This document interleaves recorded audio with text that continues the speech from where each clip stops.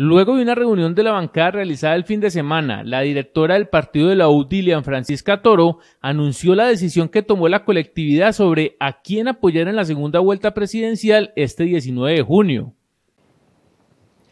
Después de escuchar atentamente a representantes de las mujeres, jóvenes, minorías, concejales, diputados y líderes del país de cara a la elección presidencial en la segunda vuelta el próximo 19 de junio, Concluimos que en nuestro partido no existe unanimidad en el querer ciudadano. Cada región, cada componente social tiene su propio concepto sobre el futuro presidencial.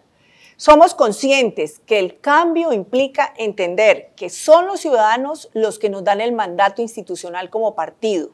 Y ese mandato que hemos escuchado nos dice que nuestras bases no están esperando de nosotros un direccionamiento partidista para decir su voto a la presidencia.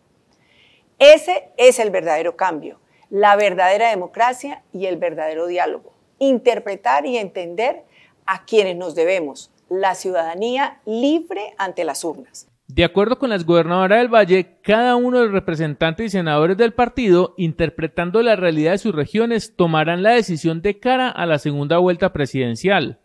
En consecuencia, hemos decidido en bancada que cada uno de nuestros representantes y senadores interpreten la realidad de sus regiones y sus electores y se pronuncien de cara a la segunda vuelta presidencial.